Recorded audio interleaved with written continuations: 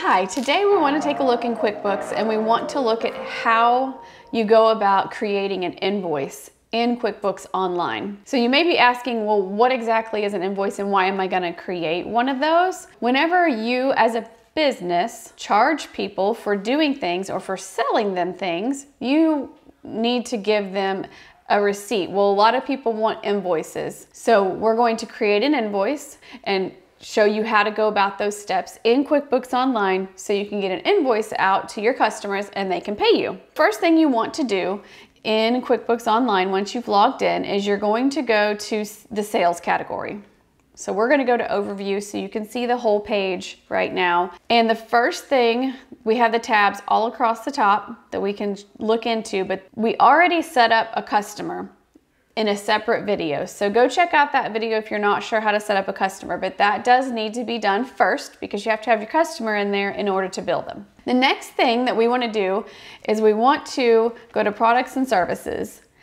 In QuickBooks, you have to have things called items in order to invoice. So when you'll see that more when we get into the invoicing screen, but right now let's take a look at how to set up an item because the item is what you're actually billing out. So we're gonna go to new. And then it's gonna ask us, is this a non-inventory item? So like products that you buy or sell, but you don't need to keep track of them inventory purposes. A side note is if you have to keep track of inventory in QuickBooks, then you are going to need a different version of QuickBooks Online and you may even need QuickBooks Desktop depending on the um, amount of inventory items that you are having to keep track of. So that is for a different discussion, but for now we're focused on simplicity purposes. So we have non-inventory items. This is something that, let's just say that you are selling t-shirts.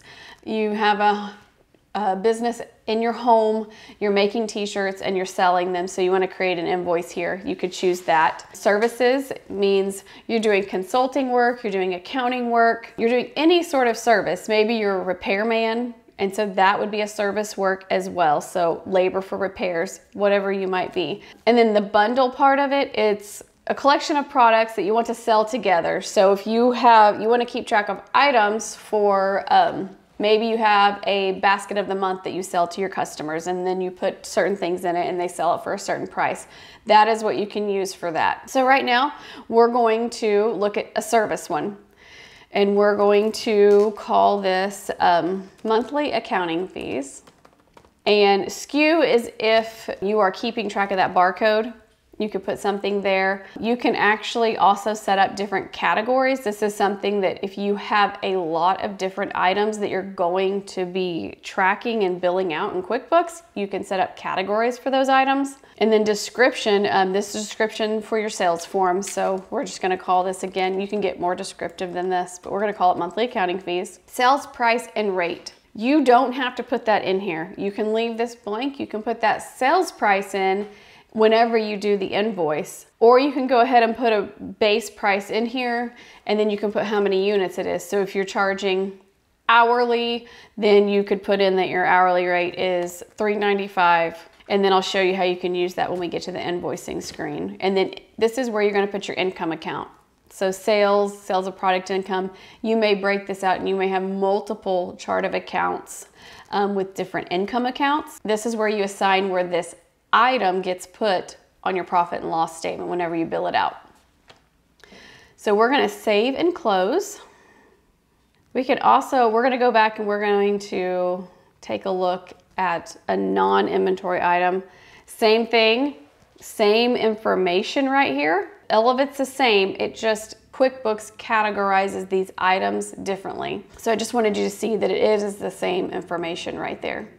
So now that we have our items, into QuickBooks. Now let's let's do an invoice. Now we can we have our customer in. We learned how to do that in a separate video.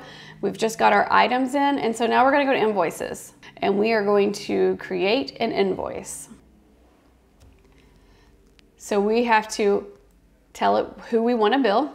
So we're going to bill Smith Company. If you had an email address in there on that customer screen for this customer, it would have popped up right here, but we don't. So we're going to actually enter one because now we know what their email address is and where they want their invoice sent. we're gonna email this invoice to them. We could print it out and mail it to them, but we're going to actually email it to them. You also have the option of telling it that you want it to send to the customer later. So that's a nice option.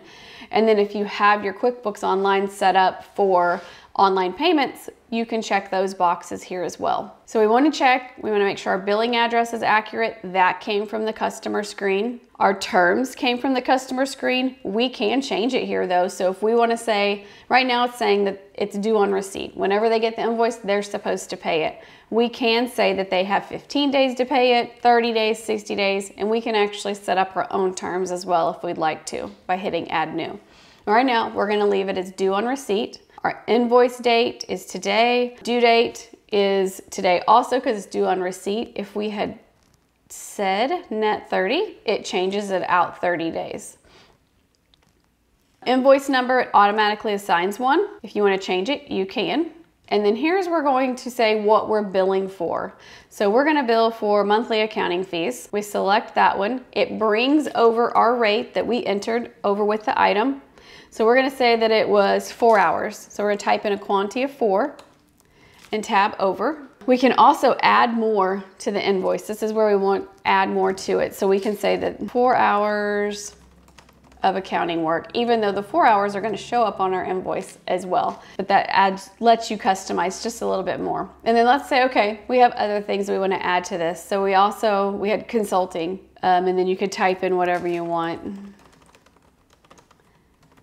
business, and then say it was two hours.